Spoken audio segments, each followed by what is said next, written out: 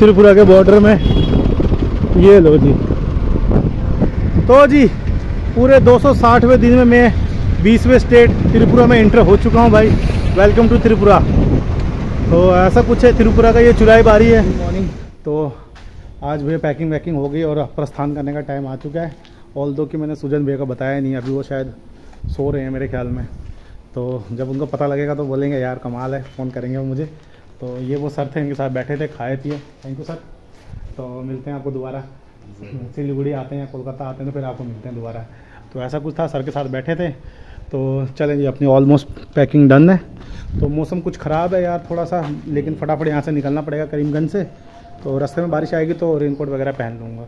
तो ऐसा कुछ था, ठीक है सर ओके तो जी, निकल पड़ा हूँ वहाँ से। अभी बाज़ार क्रॉस करके जा रहा हूँ।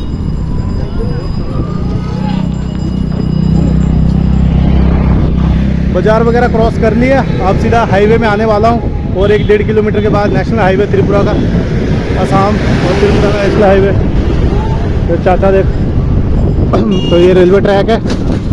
यहाँ से निकलेंगे। तो जी, बूंदाबांदी हो रही है फटाफट से। रुकने की जगह ढूंढते हैं और नाश्ता वाश्ता करते भूख लगी है। तो वैसे भैया, आज भी कह रहे थे रुक जा यार। बारिश बारिश काफ़ी तेज़ आ रही है। रुक सकता था मैं। लेकिन प्रॉब्लम सिर्फ़ ये है कि यार, अगर एक जगह तीन तीन चार चार दिन रुकने लगा तो इंडिया टूर पता नहीं कब कंप्लीट होगा भाई। तो इसलिए एक दिन से ज़्यादा या दो दिन से ज़्यादा मैं रुक नहीं सकता।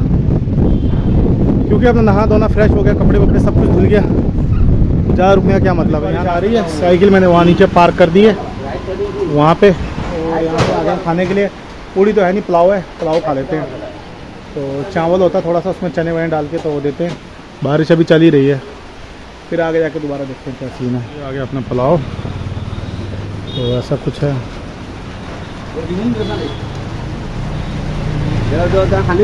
नाश्ता वास्ता हो गया। तो ये वो भैया जी ने भैया शुक्रिया। तो इन्होंने नाश्ता करवा दिया मुझे यार पुलाव वगैरह। क्या नाम है आपका? उदित रॉय। अजीत राय। अजीत रॉय। कहाँ यहाँ के हो? दुकान आपकी है? अच्छा करीमगंज के हो आप? ठीक है भैया बहुत बहुत शुक्रिया आपका। थैंक यू सो मच तो ऐसा कुछ था भाई भैया के वजह तरफ़ से नाश्ता हो गया आज मेरा। तो बारिश भी बंद हो गई है तो अब निकलते हैं। तो काफ़ी अच्छे लोग हैं यार। ये तो आसाम में पड़ता है वैसे, लेकिन सारे बंगाली हैं यहाँ पे। तो चलें जी। तो जी, अगरतला हो गया 233 किलोमीटर, नेशनल हाईवे में आ चुका हूँ। चलो जी, बूंदाबांदी तो हो ही रही शावर तो पड़ ही रहा। है देखते हैं। तो जी तो जी, सुबह निकला था साढ़े नौ बजे। अभी टाइम हो चुका है साढ़े बारह बजे पहली रेस्ट ले रहा हूँ। ये साइकिल अपनी लगाई है कोई स्कूल या कोई आंगनबाड़ी ऐसे कुछ है। निपुण आसाम फाउंडेशन ऑफ़ लिटरेसियन कुछ तो है स्कूल वगैरह। तो पैसेंजर शायद तो मिल नहीं रहा रास्ते में साइकिल लगाया साइड में। तो यहीं पे थोड़ा रेस्ट करते हैं तो जी टाइम हो। चुके हैं दो और वहाँ से थोड़ा आगे आ गया हूँ दस किलोमीटर। तो लंच वंच कर लिया जाए।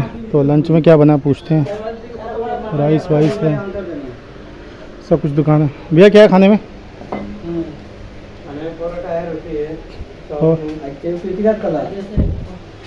ये दाल और रोटी आ गया है। तो खाते हैं और फिर निकलते हैं।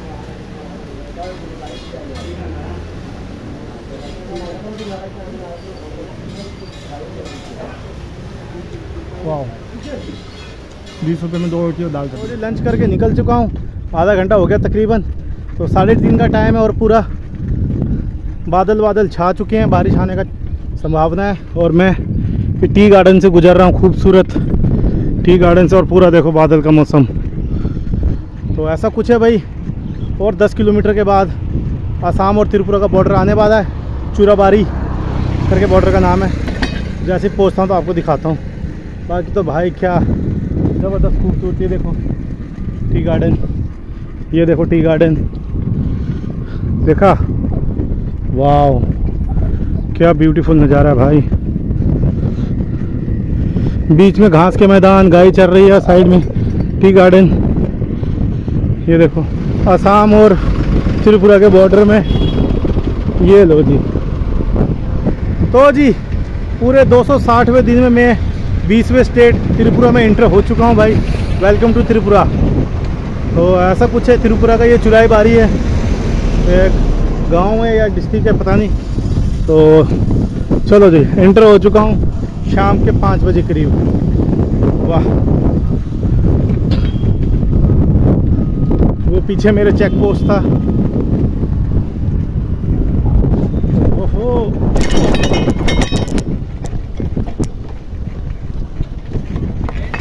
जय हिंद।